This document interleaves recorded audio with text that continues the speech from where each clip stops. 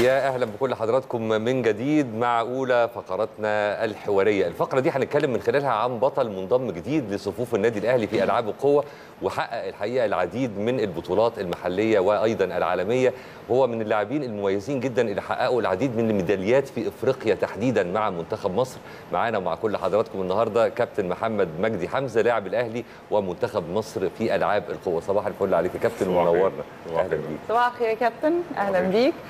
ونورت الأهلي. وعايزين نعرف بقى أو نبدأ من هنا الانتقال للأهلي والفترة كانت إزاي والكواليس كانت إزاي؟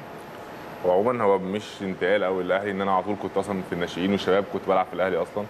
بس هو الحمد لله أنا كنت تأهلت بطولة العالم السنة اللي فاتت وعملت حاجات كويسة السنة اللي فاتت. فده خلى الأهلي يعمل معايا عقد السنة دي لمده أربع سنين. فالحمد لله مبسوط يعني. جميل. طب أل- ألعاب القوة بحرها واسع قوي أنت بتلعب إيه تحديدا من من الرياضة؟ دفع الجله اللي هي. الكرة الحديد حلو. وبدايتك معاها جت إزاي؟ من حوالي 11 سنة مثلا كنت آه، بلعب في النادي الأهلي كورة عادي مع أصحابي وكده ومدرب شافني كان عيد وقال لي آه، تعالى جرب وجربت. ومع الوقت ابتديت أحب اللعبة وابتديت أحس إن هي يعني عايز ابقى فيها حاجة مش مجرد إن أنا بلعب حاجة وخلاص.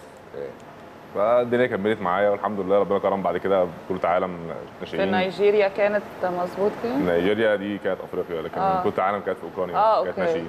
وبعد كده بقى في حاجات كتير حصلت بعديها.